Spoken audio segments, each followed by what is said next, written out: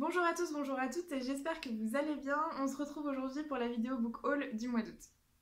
J'avais pas acheté beaucoup de livres ce mois-ci puisque j'en ai acheté que 5 et en plus j'ai pas trop varié mes domaines de lecture puisque j'ai acheté 3 mangas de la même série et 2 livres bah, de la même série aussi en fait. On va blalater plus longtemps et on va commencer tout de suite. Donc les deux premiers livres que j'ai achetés qui font partie de la même série, il s'agit de Méditation mode d'emploi et Pilates mode d'emploi.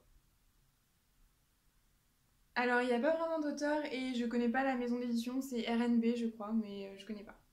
Donc c'est deux livres de présentation basiques sur le pilate et euh, la méditation, c'est vraiment basique, hein. c'est juste euh, introduire la discipline et montrer deux trois exercices, mais si jamais on veut poursuivre vraiment dans ces disciplines-là, il faudra acheter d'autres livres, voire prendre des cours parce que ça suffira pas, hein. ils, sont, ils sont super fins, donc voilà.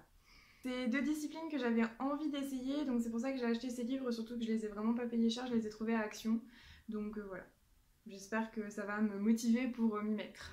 Et les trois mangas que j'ai achetés, il s'agit donc de Soul Eater, le tome 17, le tome 18 et le tome 19.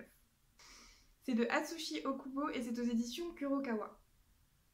Je vous avais déjà parlé de Soul Eater dans un autre book haul où j'avais acheté 5 ou 6 tomes de cette série-là déjà.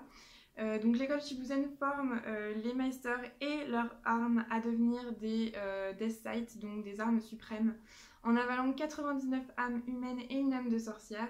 On va donc suivre Maka et Soul qui sont deux personnages très attachants et hauts en couleur dans leur péripétie pour arriver à ce rang de Death Sight. Voilà, c'était un book haul pas très fourni et pas très varié, mais j'espère que ça vous aura plu quand même.